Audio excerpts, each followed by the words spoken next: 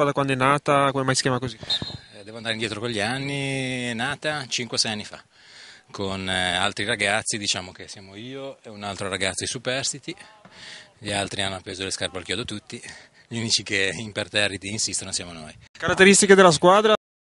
Punti di forza della squadra, lo straniero, Ailton, eh, bravissimo ragazzo sia dal punto di vista caratteriale che dal punto di vista tecnico, anzi oggi è stato eletto mister perché a rotazione nessuno lo vuole fare perché c'è sempre da lasciare fuori uno o l'altro e adesso tocca a lui a giro, è il suo turno.